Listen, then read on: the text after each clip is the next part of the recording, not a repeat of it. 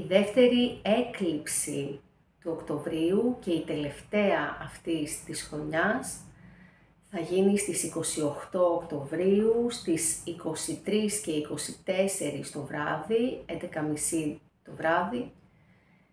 Και είναι μια έκλειψη πανσέλινος, άρα είναι έκλειψη σελήνης, η οποία θα γίνει στον άξονα Ταύρου Σκορπιού, θα γίνει πάνω στον Ταύρο, η σελήνη θα είναι στον Ταύρο, ο ήλιος θα βρίσκεται στο Σκορπιό και μείνετε μαζί μου μέχρι το τέλος αυτής της εκπομπής, γιατί θα μιλήσουμε για το τι σημαίνει αυτή η πανσέλινος έκλειψη σελήνης. Είμαι η Αριάννα Παπακώστα και σας καλωσορίζω στο αστρολογικό αλχημιστικό μου κανάλι. Είμαι αστρολόγος και κάθε εβδομάδα βρισκόμαστε εδώ στο κανάλι μου για να μιλήσουμε για τις αλληλεπιδράσεις, τις διελεύσεις των πλανητών, των αστεριών και των ανθρώπων μαζί. Γιατί θα πρέπει να θυμόμαστε ότι βιώνουμε τις διελεύσεις των πλανητών αναλόγως του δικού μας κραδασμικού πεδίου, αναλόγως της ενέργειας της οποίας εκπέμπουμε, αναλόγως της αυτογνωσίας, αναλόγως του ενεργειακού φορτίου του οποίου, το οποίο εμπεριέχουμε και μας εμπεριέχει. Άρα, ε, το λέω αυτό σε κάθε εκπομπή, ότι από τη δική μας, από το χαμηλό κραδασμό, και δεν το λέω εγώ ότι έχουμε χαμηλό κραδασμό ως ανθρωπότητα, το δείχνουν τα ίδια τα γεγονότα που συμβαίνουν 7.000, 10.000 χρόνια με τους αλλεπάλληλους πολέμους και την κατάσταση που επικρατεί στο πλανήτη Γη. Όταν όμως επικρατεί ένας εσωτερικός πόλεμος στα εσωτερικά των ανθρώπων, είναι πολύ φυσικό, πολύ λογικό αυτό να εκτείνεται και να εκφράζεται στο παγκόσμιο, στο πανανθρώπινο πεδίο που είναι η κοινωνία και η ανθρωπότητά μας. Λοιπόν, ε, διανύουμε τις τελευταίες μέρες του ήλιου στο ζυγό. Σήμερα που κάνω αυτή την εκπομπή είναι 5η 19 Οκτωβρίου, η ώρα είναι 3.30 το μεσημέρι. Ε, είπαμε και στα προηγούμενα βίντεο, τα οποία μπορείτε να τα δείτε για να δείτε γενικότερα για το τρίμηνο, να δείτε γενικότερα για τον Οκτώβριο.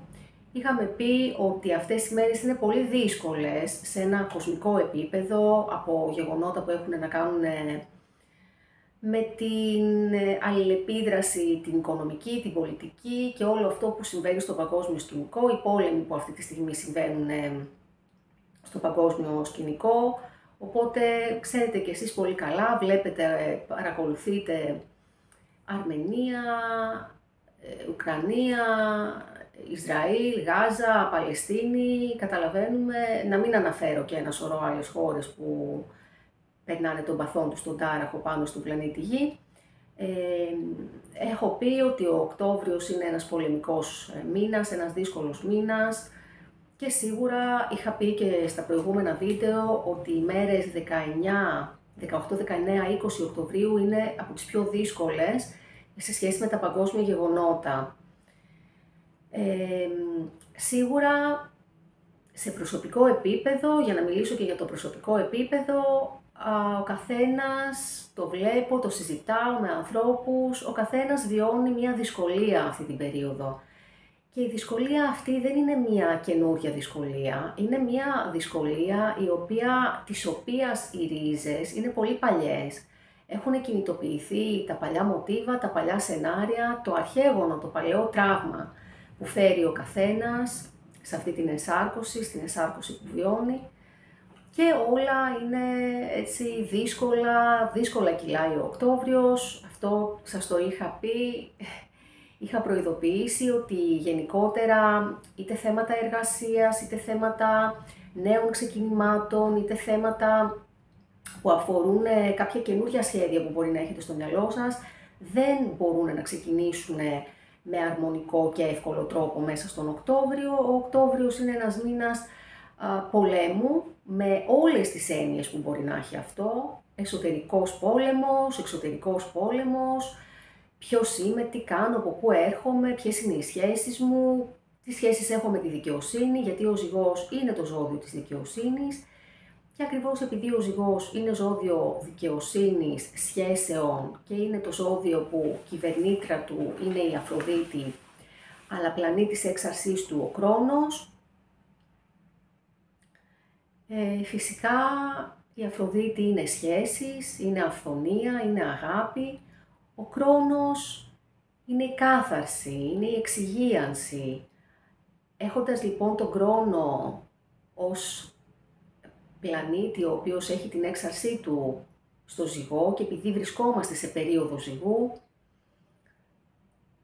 υπάρχει η καθοδήγηση του να καθαρίσουμε και να τακτοποιήσουμε σχέσεις μας, να τακτοποιήσουμε τον τρόπο με τον οποίο σχετιζόμαστε με τους άλλους, να τακτοποιήσουμε και να αφαιρέσουμε παλαιά μοτίβα τα οποία μας εμποδίζουν να έχουμε τις σχέσεις που θέλουμε με ανθρώπους που θέλουμε.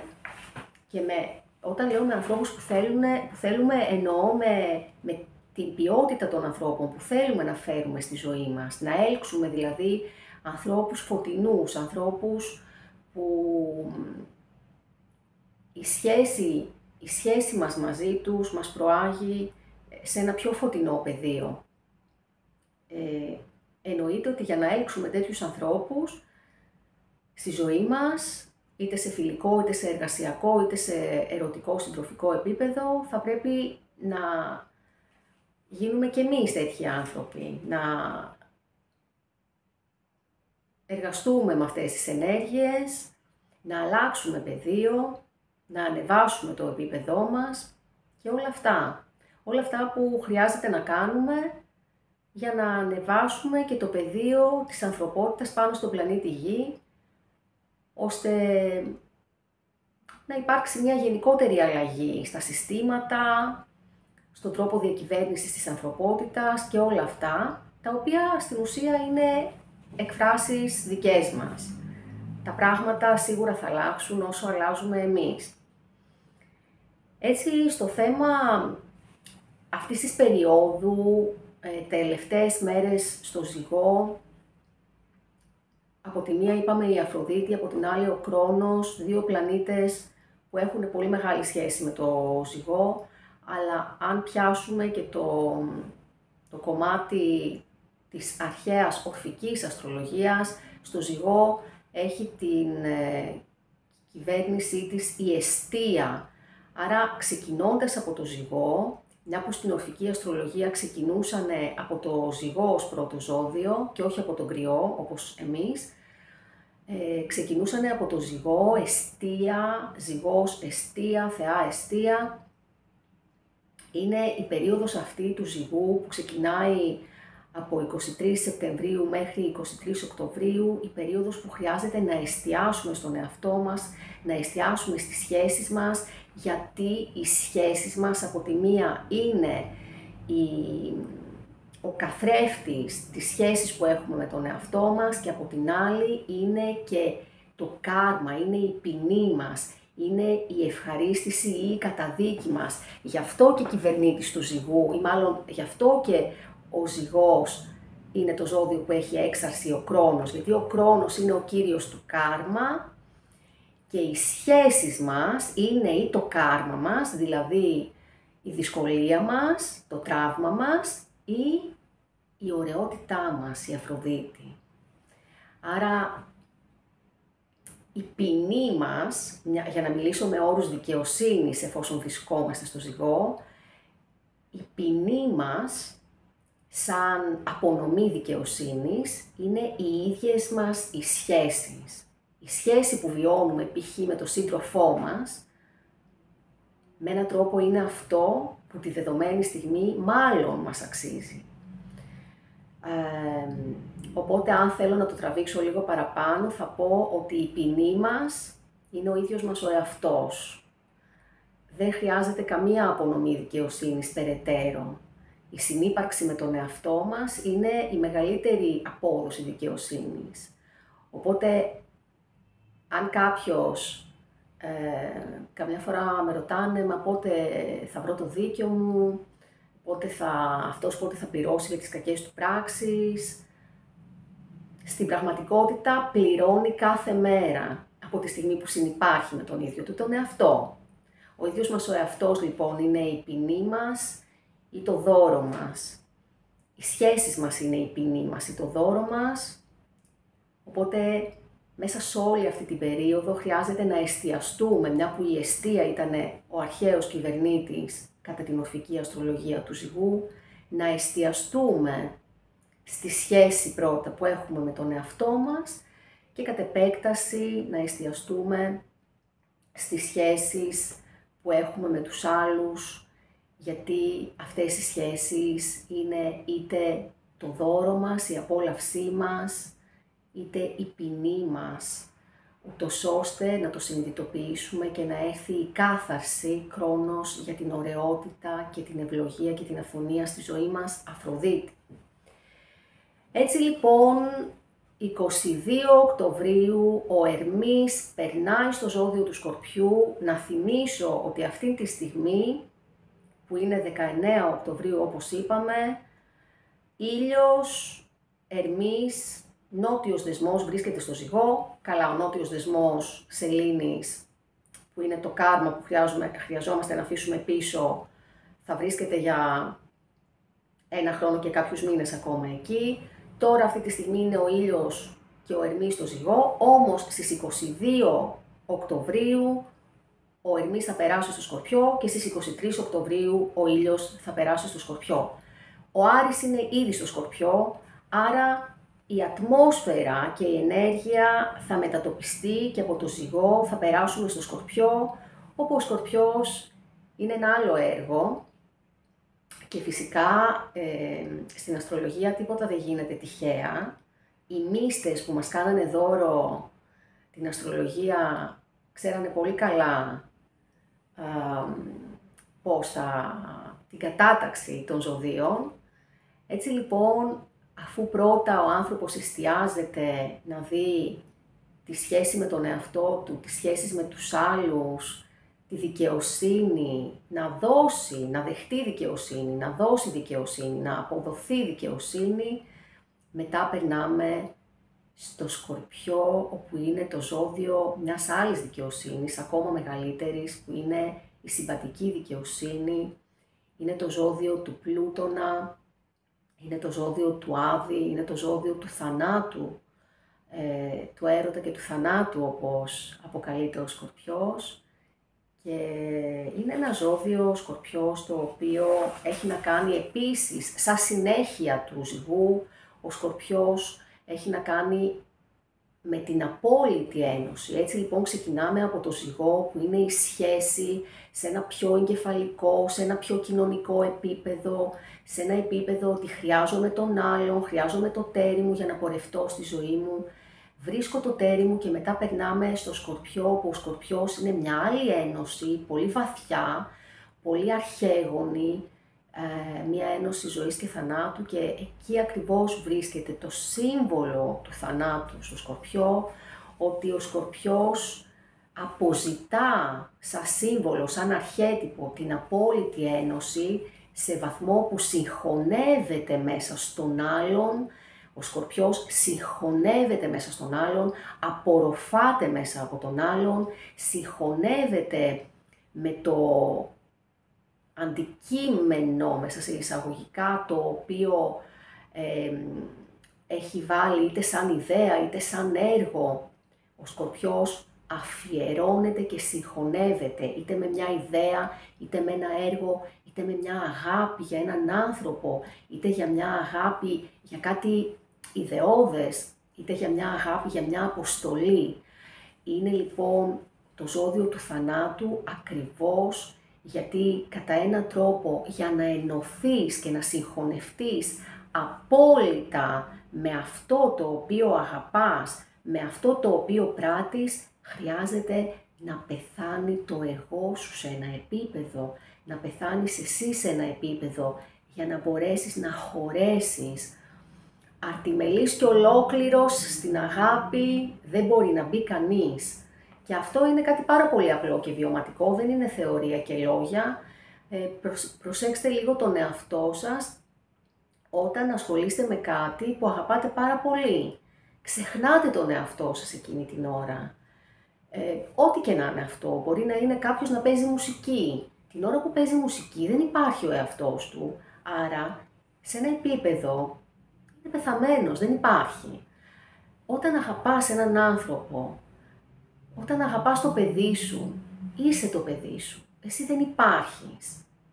Αυτή είναι η πλουτόνια αγάπη και η αγάπη του σκορπιού όταν ενώνεται και για να ενωθεί και για να συγχωνευτεί. Άρα λοιπόν η στιγμή του σκορπιού, η στιγμή που ο ήλιος περνάει στο σκορπιό και θα καθίσει ένα μήνα μέχρι 22 Νοεμβρίου εκεί, όπως και ο ήλιος κάθε μήνα λοιπόν αλλάζει και πάει σε διαφορετικό ζώδιο, έτσι λοιπόν ο μήνας του σκορπιού είναι ο μήνας, είναι η στιγμή που συνειδητοποιούμε ότι χρειάζεται να πεθάνουμε σε ένα επίπεδο για να μπορέσουμε να ενωθούμε με αυτά που αγαπάμε. Είναι η στιγμή ο Σκορπιός που κατανοεί το τέλος, η, η δραματική στιγμή που ο άνθρωπος κατανοεί το τέλος και έχει ανάγκη το να ενωθεί απόλυτα είτε με έναν άνθρωπο, είτε με μία ιδέα, είτε με ένα ιδεώδες, ακριβώς σε μια απελπισμένη, απεγνωσμένη προσπάθεια να ζήσει αιώνια. Γιατί αιώνια ζούμε μόνο μέσω της αγάπης. Αυτό που λέμε αιώνια ζωή υπάρχει μόνο μέσω της αγάπης και αυτό πάλι που σας λέω δεν είναι θεωρητικό.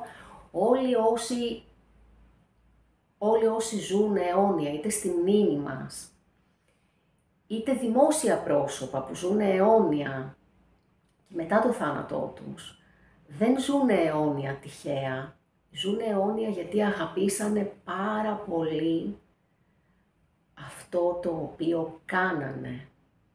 Το αγαπήσανε τόσο πολύ που πεθάνανε αλλά μείνανε, πεθάνανε, πέθανε το εγώ τους για να ακολουθήσουν αυτό που αγαπήσανε πολύ και έτσι ώστε μετά το θάνατό τους ζήσανε αιώνια μέσω αυτής της διαδικασίας που είναι πλουτόνια διαδικασία. Ο Πλούτονας είναι ο κυβερνήτης του Σκορπιού και ο Άρης ο αρχαίος κυβερνήτης του Σκορπιού πλουτόνια και σκορπιονική διαδικασία, σκορπιονική ενέργεια αυτή. Έχω τον ήλιο απέναντί μου τώρα, έχω το παράθυρο και δεν ξέρω τώρα ο φωτισμός πώς είναι, κάπως ο ήλιος έρχεται, μπαίνει στα μάτια μου. Ε, λοιπόν, άρα η στιγμή που ο άνθρωπος συνειδητοποιεί το μυστήριο του θανάτου, ήδη, έχουμε λίγο πιο εδώ, λοιπόν,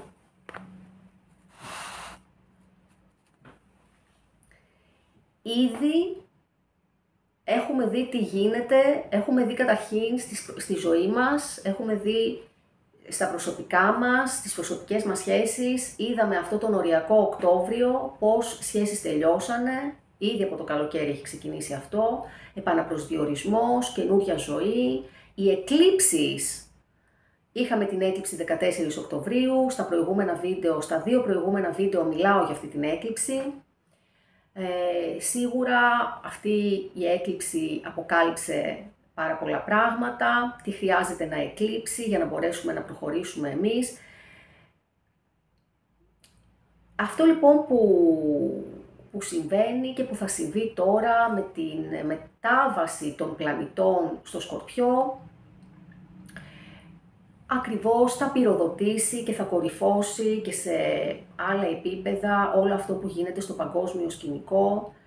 Το παγκόσμιο σκηνικό δεν είναι ξεκομμένο από μας, βρισκόμαστε, διανύουμε, διανύουμε περιόδους που δεν μπορούμε να, να κλείσουμε τα μάτια, γιατί ό,τι συμβαίνει επηρεάζει ο ένας τον άλλον, όλα συμβαίνουν τόσο κοντά και τόσο μακριά, είναι λοιπόν αυτή η έκλειψη, η έκλειψη της σελήνης, άρα η σελήνη συμβολίζει πάντα τα συναισθήματα. Ε, λέω και ξαναλέω ότι να κάνουμε υπομονή τον Οκτώβριο και, στη, και στα προσωπικά μας, αν είναι να ξεκινήσουμε κάποια πράγματα, να τα ξεκινήσουμε μετά τη Νέα Σελήνη του Νοεμβρίου και αν μπορεί κάποιος να περιμένει, είναι καλύτερο να τα ξεκινήσει ουσιαστικά και μετά τον Ιανουάριο. Αν, αν κάποιος έχει ένα μεγαλεπίβολο σχέδιο, κάτι το οποίο μπορεί να είναι όνειρο ζωής, είναι καλό να περιμένει, αν μπορεί, έτσι, γιατί φυσικά η ζωή δεν σταματάει, αν μπορεί κάποιος να συνεχίσει αυτά που ήδη κάνει, τα, τα κεκτημένα του και να ξεκινήσει από το νέο έτος και μετά κάτι πολύ σημαντικό που θέλει να ξεκινήσει, ξαναλέω αν μπορεί. Έτσι, έχουμε αυτή την έκλειψη στις 28 Οκτωβρίου. Είναι μία έκλειψη που έχει να κάνει με το συνέστημα, μια και είναι έκλειψη σελήνης. Αυτή η έκλειψη σελήνης θα είναι ορατή και στην Ελλάδα και στην Κύπρο, στην Ασία, στην Αφρική και έχω δει ότι επηρεάζει και την Αμερική οι μοίρες κατά, την οποία, κατά τις οποίες θα γίνει η έκλειψη, οι αστρολογικές μοίρες έχουν να κάνουν πάρα πολύ με την Καλιφόρνια. Ενδέχεται να δούμε κάποια θέματα εκεί. Είναι μια έκλειψη πανσέλινος που γίνεται στον άξονα Σκορπιού Ταύρου. Αυτό λοιπόν ε, σημαίνει ζητήματα ζωής και θανάτου. Αυτό λοιπόν σημαίνει πλούτος, γιατί και ο Σκορπιός και ο Ταύρος συμβολίζουν το χρήμα.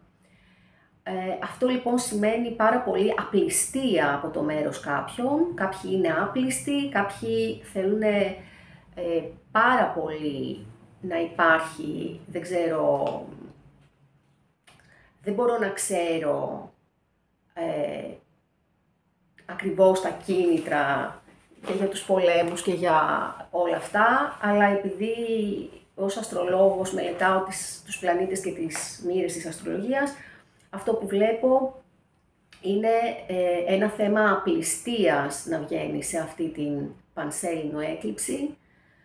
Ε, μια τεράστια υπερβολή, ένας τεράστιος πλούτος που υπάρχει στη γη, βέβαια τα έχω ξαναπεί αυτά, απλά τώρα ε, προφανώς παίζεται ένα πολύ, δεν ξέρω τι να πω, προφανώς είναι μια περίοδος που κάποιοι θέλουν να αποκρύψουν εντελώς το ότι υπάρχει ένας τεράστιος πλούτος και ότι δεν υπάρχει στην ουσία καμία κρίση στην πραγματικότητα. Παρ' όλα αυτά όμως είναι κατασκευασμένα έτσι όλη αυτή την περίοδο, το ότι υπάρχει κρίση, το ότι φυσικά θα φέρουν κρίση, γενικότερα μιλάω, παγκόσμια, προσπαθούν να το κάνουν αυτό. Ε, έχει να κάνει λοιπόν για μία ακόμα φορά με, τα, με τις τράπεζες, με, το, με την πλουτοκρατία, γιατί πάντα όταν μιλάμε για σκορπιό, πλούτονα και απέναντι τάβρο, οπωσδήποτε έχει να κάνει με τους πάρα πολύ πλούσιους, όχι μόνο με τους πάρα πολύ πλούσιους, αλλά με τα κέντρα στα οποία συγκεντρώνεται το χρήμα σε όλα τα επίπεδα, Άρα σίγουρα θα έχουμε θέματα πολλά με το χρηματιστήριο, με, την, με το χρυσό, με τα μέταλλα, ό, όλα αυτά. Θεωρώ ότι θα πέσουν πάρα πολύ με έναν τρόπο κάποια πράγματα εκεί, όπως επίσης θα έχουμε θέματα με τα εδάφη. Αυτό ήδη το βλέπουμε, γιατί ο Ταύρος έχει να κάνει με τα εδάφη, έχει να κάνει με τα σύνορα, ο ουρανός στον Ταύρο έχει να κάνει με τα σύνορα. Εκεί λοιπόν όλα αυτά τα θέματα ανασαλεύονται. Ε, σαφέστατα αυτή η έκλειψη μας δείχνει, γίνεται στη πέμπτη προσέκτη μοίρα του Ταύρου. Ε, είναι μία μοίρα που στα Sabian Symbols έχει να κάνει με η πέμπτη μοίρα μας δείχνει μια γυναίκα, είναι πάρα πολύ ωραίο έτσι όπως το γράφει το Σάμπια Σίμπολς, μια, μια χείρα πάνω σε ένα τάφο, παίρνει το μυστικό της αιώνιας ζωής. Μιλάει για ένα τάφο το, τα Sabian Symbols και βλέπουμε τι γίνεται με τον πόλεμο, με το θανατικό που έχει πέσει σε ανθρώπους κτλ. Είναι σαν να σου λέει το σύμπαν Σκέψου ότι η ζωή είναι μικρή. Σκέψου ότι έχεις έρθει εδώ για λίγο. Για πολύ λίγο. Και πάνω από αυτό το μυστήριο της ζωής και του θανάτου, δες ότι μπορείς να ζήσεις τόσο όμορφα. Έχεις έρθει πολύ λίγο και νομίζεις, νομίζεις, νομίζω, νομίζουμε όλοι, ότι τι έχεις να χωρίσεις. Οπότε ακριβώς εκεί, στα Sabian Symbols, μια χείρα πάνω από ένα τάφο παίρνει το μυστικό της αιώνιας ζωής. Και βέβαια η έκτη μοίρα του, του Ταύρου έχει να κάνει με γέφυρες οι οποίες θέλουν να ενώσουν πάνω από ανοιχτούς τάφους αυτή τη φορά, αυτό είναι δική μου ελεύθερη μετάφραση, γέφυρες οι οποίες θέλουν να ενώσουν τα κενά που υπάρχουν, όμως εκεί πάνω γίνεται η έκλειψη. Αυτό λοιπόν σημαίνει ότι πάρα πολλοί δεν το βλέπουν αυτό. Υπάρχει από τη μία μία ανάγκη να υπάρξει παγκόσμια μία κατάσταση ειρήνης ανάμεσα στους ανθρώπους. Ε, από την άλλη κάποιοι δεν το θέλουν καθόλου αυτό. Παρ' όλα αυτά πιστεύω ότι μέσα στο Νοέμβριο θα γίνουν κάποιες παγκόσμια, κάποιες κινήσεις για να αποφευχθούν πράγματα, αν και η νέα σελήνη του Νοεμβρίου που θα γίνει ακριβώς πάνω στον πάνω στο Γιουμουκαλάι, πάνω στον Οφιούχο, πάνω στο Σερπέντι, θα γίνει στην 22η μοίρα του, του Σκορπιού. Μιλάω τώρα, σας πήγα 13 Νοεμβρίου. Ε, θα γίνει 20 προς 21η του Σκορπιού και στην 22η θα είναι ο Άρης. Δυστυχώς και αυτή η νέα σελήνη μας δείχνει πάλι πολεμική κατάσταση, ε, η οποία θα μπορούσε φυσικά να αποφευχθεί. Δεν σημαίνει ότι είναι οι πλανήτες εκεί, άρα θα γινόταν σίγουρα πόλεμος. Όχι. Ξαναείπα, το χαμηλό κραδασμικό των ανθρώπων προκαλεί τους πολέμους. Όσο δεν βάζουμε μυαλό, όσο δεν αλλάζουμε εσωτερικά, αυτογνωσιακά, τα πράγματα είναι έτσι. Κάντε λοιπόν και την αντιστοιχεία και στις προσωπικές σας ζωές, ε, πώς χρειάζεται αυτή την περίοδο να βρεις αυτό το οποίο θα σε κάνει να ξεχάσεις, να βρεις αυτό που αγαπάς πολύ. Τι είναι αυτό που αγαπάς πολύ; Είναι μια ιδέα, είναι ένα έργο, είναι το έργο σου, είναι μια εργασία, είναι η αυτοβελτίωσή σου, είναι ένας άνθρωπος, είναι η πνευματικότητα, είναι καλό αυτό που αγαπάμε να υπερβαίνει τις μικρές ατομικές μας φιλοδοξίες, να είναι κάτι πιο μεγάλο από μας, κάτι πιο μεγάλο από...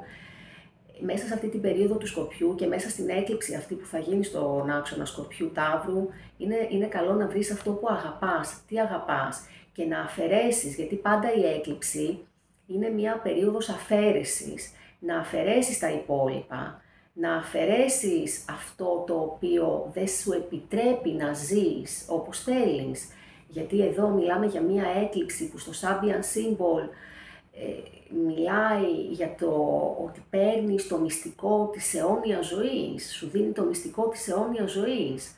Η αιώνια ζωή συνδέεται πάντα με το να κάνεις αυτό που αγαπάς και να απολαμβάνεις αυτό που αγαπάς. Γιατί και αυτό που θα σου πω είναι πάλι βιωματικό.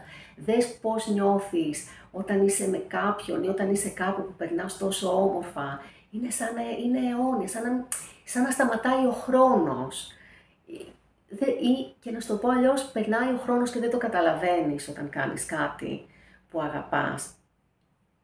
Ε, έτσι λοιπόν χρειάζεται σε προσωπικό επίπεδο να δούμε τι είναι αυτό που αγαπάμε, να ενωθούμε με αυτό που αγαπάμε, με, με, με αυτό που μας κάνει να ξεχνάμε τον εαυτό μας. Όχι να τον ξεχνάμε, να τον παραμελούμε, ε, αλλά να ξεχνάμε τον εαυτό μας στο επίπεδο του ότι είμαστε τόσο πολύ σημαντικοί, όλα είναι πάρα πολύ σημαντικά, οπότε ασχολούμαστε με κάποια πράγματα που κανονικά δεν θα έπρεπε. Αυτό που έλεγα λοιπόν πριν, γιατί γενικώ πετάγομαι από το ένα θέμα στο άλλο, έχω Άρη Ουρανό και Ερμή, οπότε για όσους ξέρουν αστρολογία καταλαβαίνουν, ε,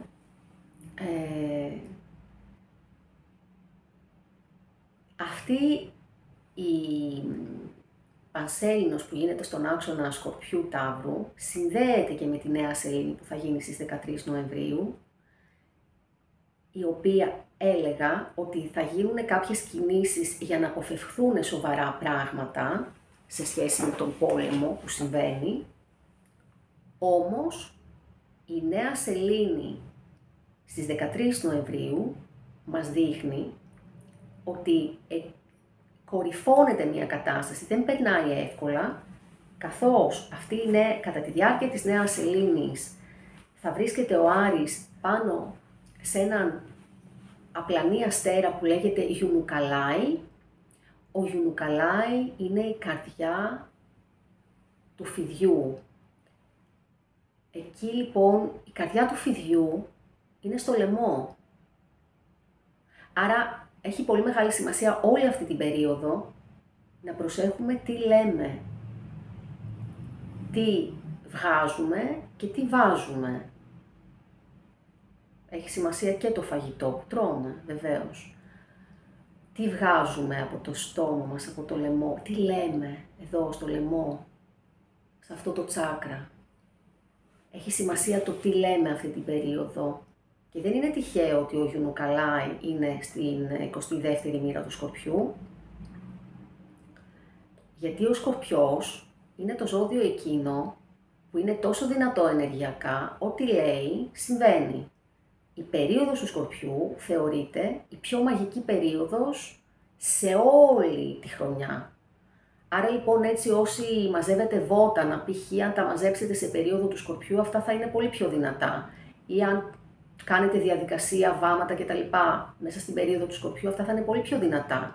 Άρα στην περίοδο του Σκορπιού προσέχουμε πάρα πολύ τι λέμε, τι σκεφτόμαστε, τι πράττουμε, γιατί είναι μια πράξη μαγείας.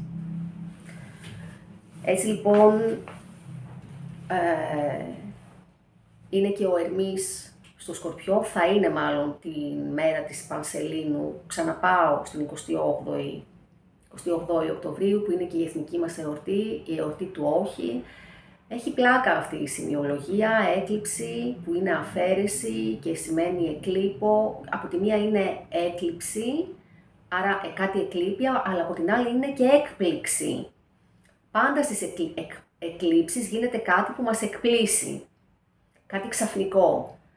Και επειδή σε αυτή την ε, έκλειψη, όπως και στη νέα σελήνη του Νοεμβρίου, εκεί ακόμα περισσότερο είναι απέναντι, είναι απέναντι ο ουρανός, σίγουρα συμμετέχει και εδώ ο ουρανός με ένα πολύ ωραίο τρίγωνο, άρα θέλω να πω ότι μέσα σε αυτό το ζωφερό κλίμα το παγκόσμιο, υπάρχουν και ωραία πράγματα που γίνονται και εδώ ο ουρανός τη μέρα της έκλειψης κάνει ένα πολύ ωραίο τρίγωνο, ο ουρανός, η Αφροδίτη και ο Πλούτονας. Μην ξεχνάμε ότι η Αφροδίτη είναι ο κυβερνήτης, η κυβερνήτρα αυτής της έκλειψης, άρα έχει σημασία και δόξα τω Θεώ που κάνει ένα πολύ ωραίο τρίγωνο στα ζώδια της Γης, άρα τα ζώδια της Γης είναι για μία ακόμα φορά ευνοημένα, ευνοούνται, μαζί τους ευνοούνται και τα ζώδια του νερού. Ε, σαφέστατα να πούμε ότι τα ζώδια, τα παρορμητικά των τελευταίων δεκαημέρων, του τελευταίου δεκαημέρου χρειάζονται λίγη προσοχή γιατί πράγματα τα οποία δεν θέλανε να αλλάξουν, τα αλλάζουν άρδιν. Ε, εν πάση περιπτώσει, ο Γιουνουκαλάη, ξαναπηγαίνω εκεί στις 13 Νοεμβρίου η καρδιά του φιδιού, ο Γιουνουκαλάη, ο οποίος είναι, έχει να κάνει με τα δηλητήρια και τα ελιξήρια, ε, άρα είμαστε σε μια περίοδο και ακριβώς επειδή μπαίνουμε στο Σκορπιό και η Πασέλινος είναι στον άξονα Σκορπιού Ταύρου, σίγουρα ό,τι έχει να κάνει με θεραπεία είναι, ανήκει στην, περί, στην περίοδο του Σκορπιού.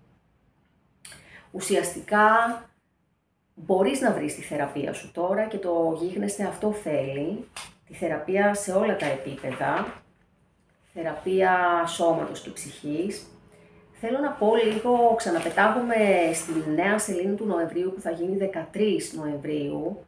Μια νέα σελήνη που ο Άρης είναι πάνω στο Γιουνουκαλάι, στην καρδιά του φιδιού, στο Σερπέντι.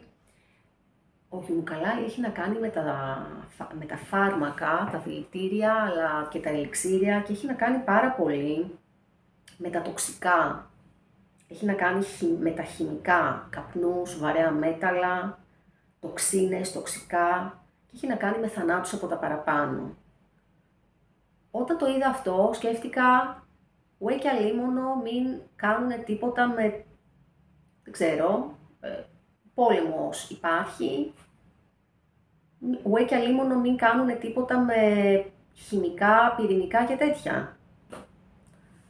Ε, ξαναλέω, δεν θέλω να ε, δεν κινδυνολογώ, μεταφράζω αυτό και το ανώτερο αλλά και το κατώτερο κραδασμικό των πλανητών.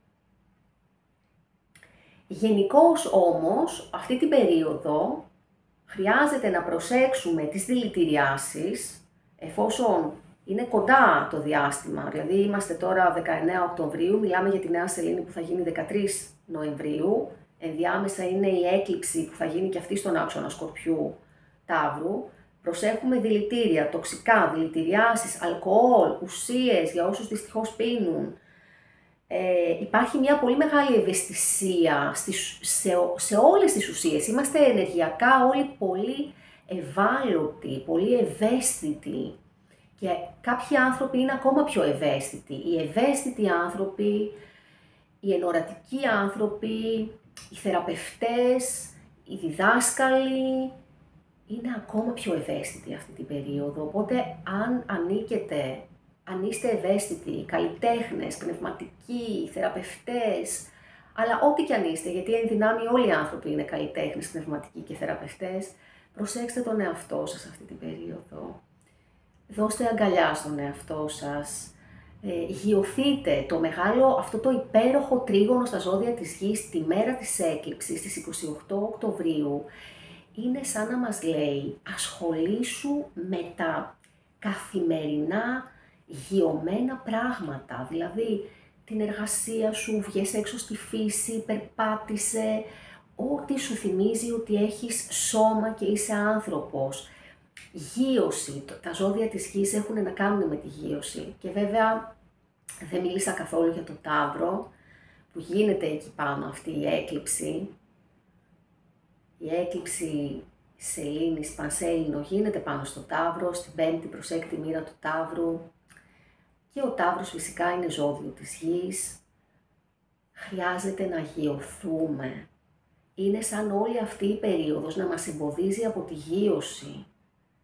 Δηλαδή όλη αυτή η περίοδος, όλες αυτές οι δύσκολες διελεύσεις, τις οποίες τις βιώνουμε και δύσκολα εξαιτίας του χαρακτήρα που έχουμε, σαν ανθρωπότητα, σαν άνθρωποι, ε, όλη αυτή η κατάσταση, όλη αυτή η κάπνα, η θολούρα, είναι σαν να μας εμποδίζει να βλέπουμε την πρακτική, πραγματική μας ζωή εδώ στον πλανήτη Γη. Πώς ήρθαμε να ζήσουμε, τι ήρθαμε να κάνουμε.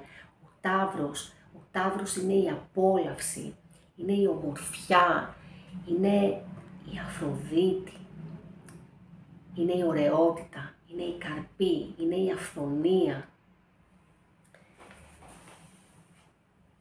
Και γίνεται η έκλειψη εκεί πάνω και αυτό το πράγμα έχει δύο ερμηνείες. Η μία είναι ότι βιώνουμε μία περίοδο που δυστυχώς δεν μπορούμε να δούμε.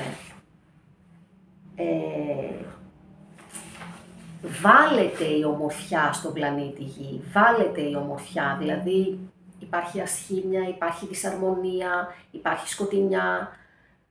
Από την άλλη όμως, η άλλη ερμηνεία είναι εφόσον γίνεται η έκλειψη εκεί πάνω, να αφαιρέσουμε ό,τι δεν μας επιτρέπει να ζήσουμε στην αυθονία και στην ομορφιά, η οποία είναι άπλετη στον πλανήτη Γη. Χρειάζεται και βέβαια σε αυτή την έκλειψη, 28 Οκτωβρίου, η Σελήνη είναι δίπλα με το Δία, κάνει σύνοδο με το Δία, όλα τα συναισθήματα θα είναι σε υπερθετικό βαθμό, ο Δίας είναι ανάδρομος, ο Δίας μας παρακινεί να δούμε την ευγνωμοσύνη, τις ευλογίες μας. Και πιο εκεί είναι ο ουρανός, ο οποίος κάνει μαζί με την Αφροδίτη και τον Πλούτονα αυτό το υπέροχο τρίγωνο που μας στηρίζει μέσα σε όλα και μας λέει γιώσου, βήμα-βήμα, κοίτα την πραγματικότητά σου, εστιάσου στα απλά καθημερινά, στα όμορφα, κάνε απλά πράγματα, μην κάνεις σενάρια, εστιάσου στη φύση, εστιάσου στο δέντρο, εστιάσου στο λουλούδι, πότισε, καλλιέργησε, ασχολήσου με τη γη. Είσαι, πλανή, είσαι, είσαι κάτοικος του πλανήτη. Γη. Γιώσου. Με αγάπη. Από την άλλη απέναντι από την ε, Πανσέλινο βρίσκεται ο Άρης στο Σκορπιό, ο Ερμής στο Σκορπιό και ο ήλιος στο Σκορπιό φυσικά. Πάντα μια Πανσέλινος είναι αποκάλυψη, αποκαλύπτονται πράγματα, έρχονται στην επιφάνεια πράγματα, έρχονται στην επιφάνεια μυστικά και λέω μυστικά γιατί ο Ερμής μαζί με τον ήλιο και τον Άρη στο Σκορπιό αποκαλύπτουν μυστικά, ξεθάβουν πράγματα. Πάρα πολύ θα πάει το μυαλό σου προς τα πίσω, στους ανθρώπους που έχεις χάσει, ανθρώπους που έχουν φύγει από τη ζωή σου, ενώ που έχουν φύγει σε φυσικό επίπεδο, που έχουν πεθάνει ενώ. Είναι περίοδος και μάλιστα οι τελευταίες μέρες του Οκτωβρίου, 28 Οκτωβρίου με πρώτες μέρες του Νοεμβρίου, είναι μέρες που σε πολλές χώρες γιορτάζονται οι νεκροί, γιορτάζεται, γιορτάζεται η διαδικασία αυτή; Από όπου και να το δούμε, βρισκόμαστε σε μια διαδικασία η οποία ευλογεί τη ζωή, και θέλει να σε κάνει να αφαιρέσεις όλα αυτά που δεν σε αφήνουν να ζεις με αυθονία, αγάπη, ειρήνη, ομορφιά, ωραιότητα, τέχνη, Θεό, πνεύμα. Αυτά είχα να πω για σήμερα, για την επερχόμενη πανσέλινο έκλειψη σελήνης. Σε ευχαριστώ που και σήμερα ήσουν εδώ. Θυμάσαι πάντα να κάνεις subscribe, εγγραφή στο κανάλι μου. Είναι σημαντικό για μένα να βλέπω ότι υπάρχει απήχηση των εκπομπών που κάνω για να συνεχίζω με όρεξη και χαρά και να βλέπω ότι πληθαίνουν οι άνθρωποι με τους οποίους ενώνομαι σε πνευματικό επίπεδο. Βάλε μου τα like σου, μοιράσου το βίντεό μου και πες μου, κάνε μου σχόλια για το πώς βιώνεις αυτή την κατάσταση και πες μου και κάτι όμορφο από τη ζωή σου, γιατί το λέω και το ξαναλέω σε κάθε βίντεο. Μπορεί σε ένα επίπεδο εξωτερικό, παγκόσμιο, τα πράγματα να είναι έτσι ακριβώς γιατί στην ουσία καταραίει αυτό το παλαιό σύστημα και δεν θέλει να το καταλάβει ότι καταραίει. Και από την άλλη, ε, όμως σε ατομικό προσωπικό επίπεδο υπάρχουν άνθρωποι που ανθίζουν, άνθρωποι που αυτή τη στιγμή είναι τόσο καλά όσο δεν ήταν ποτέ. Τώρα θυμήθηκα κάτι και θέλω να το πω για αυτή την ε, Πανσέλινο. Η Πανσέλινος αυτή έχει να κάνει πάρα πολύ και με την Ευρώπη, γιατί στη μυθολογία ο Δίας μεταμορφώθηκε σε Ταύρο και πήρε την Ευρώπη και δεν είναι τυχαίο που είναι ουρανός Δίας Σελήνη. Η Ευρώπη έχει να κάνει πολύ σαν συμβολισμός με το ζώδιο του Ταύρου και με τη Σελήνη, άρα υπάρχει έκλειψη πάνω εκεί. Σημειολογικά θα πω ότι ναι, υπάρχει έκλειψη στην Ευρώπη, κάποιοι θέλουν να σκοτεινιάσουν και την Ευρώπη, δεν θα τα καταφέρουν όμως. Αγαπημένοι μου, σας φιλώ, καλή ευλογημένη Πανσέλινο, καλή ευλογημένη έκλειψη. Την επόμενη εβδομάδα θα είμαστε παρέα και πάλι μαζί. Πολλά πολλά φιλιά.